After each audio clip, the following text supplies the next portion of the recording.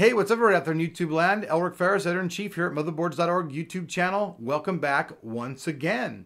Well, there's been a new launch of cards by AMD, which all of you guys have been watching and are very popular. This is the new HD 6 series. Now, today we have the overclocked version of Sapphire's card. This is the HD 6850 OC version from our friends at Sapphire. So let's check out what comes inside of the box. Okay, so starting off, we'll go to the side here, pop open the tab here, go ahead and pull out the inner packaging. You guys take a look at the box here. Okay, so now we have the inner tray. I'll go ahead and open up here.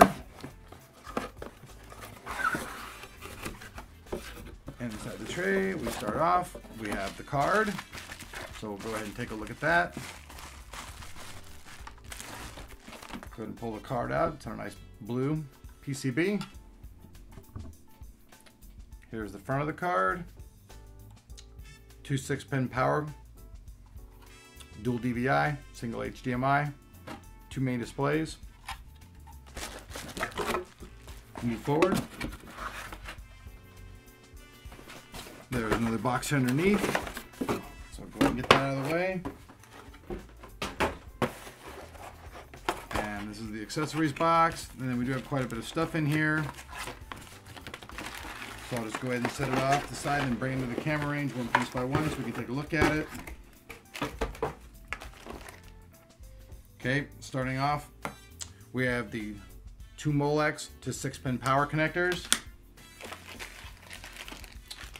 We have a DVI to, to uh, a standard VGA adapter.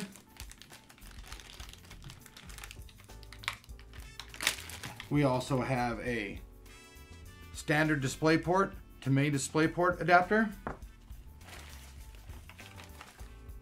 We have the Crossfire bridge.